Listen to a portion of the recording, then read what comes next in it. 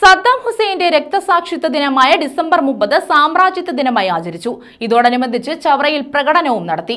P D P ജില്ലാ vice president Abdussalam മുപ്പട്ടയിൽ ഉദ്ഘാടനം ചെയ്തു. സദ്ദാം ഹുസൈന്റെ രക്തസാക്ഷിത്വ ദിനമായ ഡിസംബർ മുപ്പത് ചവറ നിയോജക മണ്ഡലം കമ്മിറ്റിയുടെ നേതൃത്വത്തിൽ സാമ്രാജ്യത്വ ദിനമായി ആചരിച്ചു. വൈകിട്ട് ഏഴിന് അമ്മവീട് ജംഗ്ഷനിൽ നിന്നും ആരംഭിച്ച പ്രകടനം കൊട്ടുകാട് ജംഗ്ഷനിൽ സമാപിച്ചു. ഇസ്രായേലിന്റെ രാഷ്ട്രത്തലവൻ നദന്യാഹുവിന്റെ കോലം പ്രതീതാത്മകമായി തൂക്കിലേറ്റി. പി ഡി പി ജില്ലാ വൈസ് പ്രസിഡന്റ് അബ്ദുൽ സലാം മുപ്പട്ടിയിൽ ഉദ്ഘാടനം നിർവഹിച്ചു. ഈ സാമ്രാജ്യത്വ ഒക്കെ നേതൃത്വത്തിൽ രാജ്യങ്ങളിൽ നിന്ന് പാലസ്തീൻ പാലസ്തീനെ മോചിപ്പിക്കാനുള്ള നമുക്കറിയാം ഇത് ചെയ്യേണ്ട ഒരു വിഷയമാണ്. നമുക്ക് അറിയാനുള്ളത്